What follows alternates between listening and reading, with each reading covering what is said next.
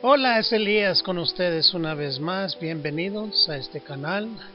En este día vamos a enseñar la genealogía de Génesis 5. Está verdaderamente el Evangelio en el capítulo 5 de Génesis y una vez más, bienvenidos a este canal. Primeramente vamos comenzando con ah, esta lección, pero antes quiero dar todo el crédito ah, en recuerdo de Chuck Missler. Murió en mayo, este mayo de 2018. Era el maestro ah, de los estudios bíblicos, el Antiguo Testamento, el Nuevo Testamento y otros libros. Y pasó en este mayo que se murió. Y era ingeniero, era negociero de compañías grandes como Ford Motor Company, vicepresidente de esa compañía y era general en las armas fuerzas fuerzas armadas de los de la nave. Y también comenzó su ministerio en House y ah, así estaba enseñando y pues sí eh, subió de años y así ah, murió este año.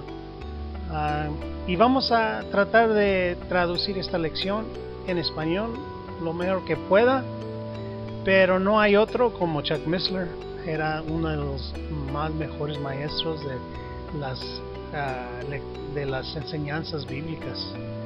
Pero también necesitamos, ah, quiero darles esta recomendación de un libro, diccionario de propios nombres propios.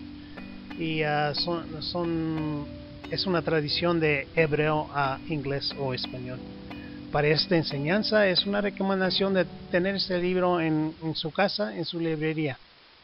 Primeramente vamos comenzando con la genealogía de Génesis capítulo 5, pero vamos al libro de Judas, versículo 14. Enoch es muy importante en, este, en esta lección y vamos a comenzar con lo que dijo él en el libro de Judas, versículo 14. Dice así, de esos también profetizó Enoch en la séptima generación desde Adán, diciendo, he aquí el Señor vino con muchos millares de sus santos para ejecutar juicios sobre todos y para condenar a todos los impíos de todas sus obras de impiedad que han hecho impiadamente, piamente, y de todas las cosas ofensivas del pecadores impíos dijeron contra él. Ah, una vez más, es importante este versículo y así ah, comenzamos este, esta lección. Vamos continuando con los descendientes de Adán. Capítulo 5 de Génesis 1 ah, al 32, tiene 32 versículos y cubre los nombres de Adán hasta Noé.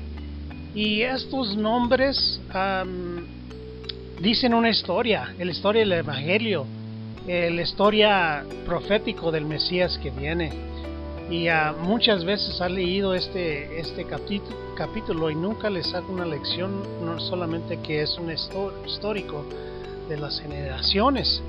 Hasta que un, día escuché a Chuck Missler y, en, inglés y, y, dijo una historia nomás en los nombres de los 10 generaciones y las transcribió y dieron una historia en hebreo y traducidos en inglés.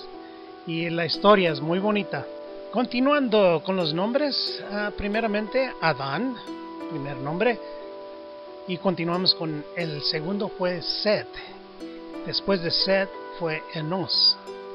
Después de Enos fue Cainán. Después de Cainán fue Mahalel.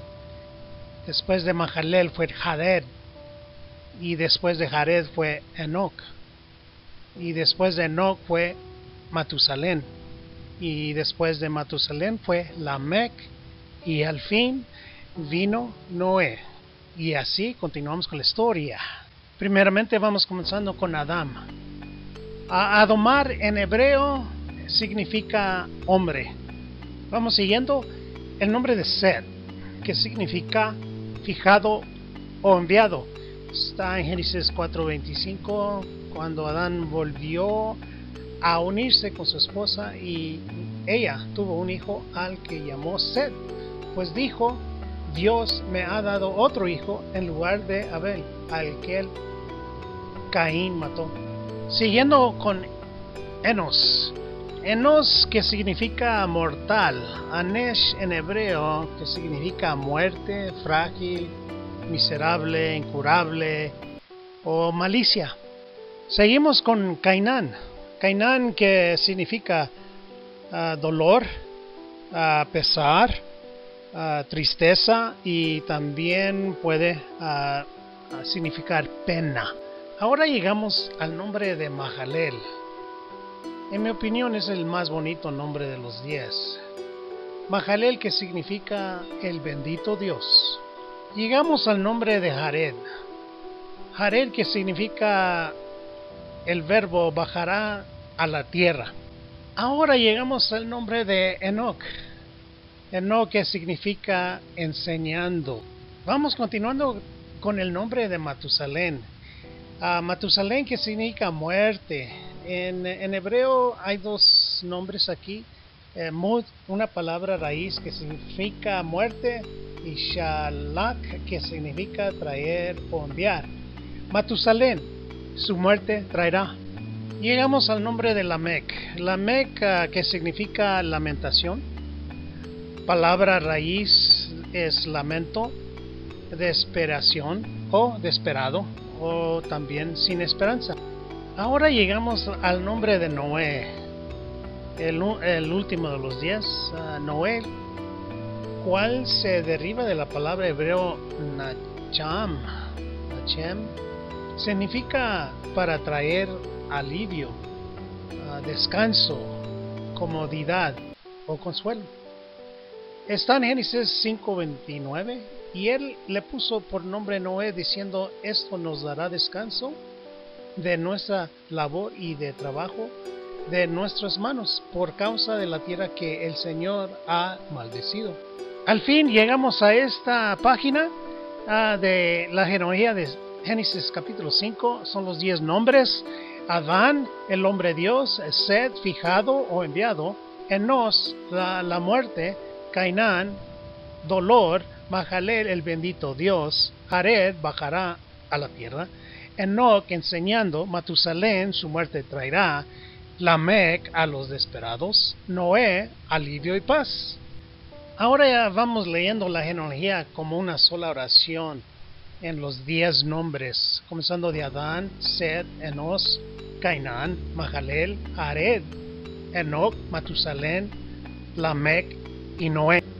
Ahora mi parte favorita, Adán, el hombre. Segundo, enviado. Tercero, dolores. Cuarto, mortales. El bendito Dios. Seis, bajará. Séptimo, enseñando. Ocho, su muerte traerá. Nueve, esperados último, descanso y paz. Ahora al fin llegamos a la historia, esta historia bonita. Eh, el hombre Dios ha enviado dolores mortales, pero el bendito Dios bajará enseñando y su muerte traerá a los desesperados descanso y paz. La historia de los diez nombres en Génesis capítulo 5.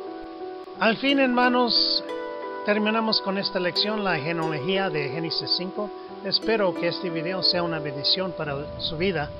Recuerda buscarnos en las redes sociales, como dice la Biblia. Por favor de suscribirte a este canal para ver más videos. Les deseo el amor, la palabra y el Espíritu de Dios para todos ustedes. Ah, Dios les bendiga, hermano, y hasta la próxima. De Elías, Dios les bendiga.